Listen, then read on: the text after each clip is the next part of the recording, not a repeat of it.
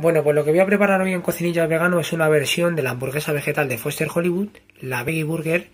En realidad es una hamburguesa vegetariana porque le añaden queso y mayonesa, pero nosotros también lo vamos a veganizar. Para hacer la carne tengo aquí 50 gramos de quinoa, 50 gramos de arroz integral y 50 gramos de judías rojas. Vamos a echarle también 50 centilitros de agua, cebolla en polvo, ajo en polvo, pimentón ahumado y también líquido ahumado. Todo esto lo vamos a triturar y vamos a obtener una masa con ello. Le he puesto también 3 cucharadas de aceite de oliva y un poquito de sal y estoy probando la consistencia. Igual tendría que ser un poquito más pegajosa. Le he puesto 20 centilitros de agua más al final, entonces son 70 de agua y ya tengo una consistencia mucho más elástica. Voy a freír las hamburguesas.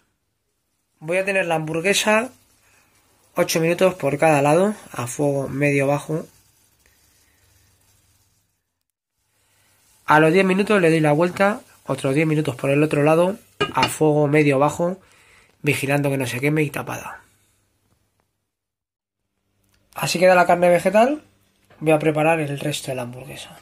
El resto de ingredientes que lleva esta receta son queso vegano, tomate, maíz, aguacate, lechuga, cebolla, tomate, veganesa y salsa barbacoa. Y esto sería todo. Así queda nuestra hamburguesa del Foster Hollywood veganizada, la Vegan Burger. Riquísima. Hasta la próxima receta.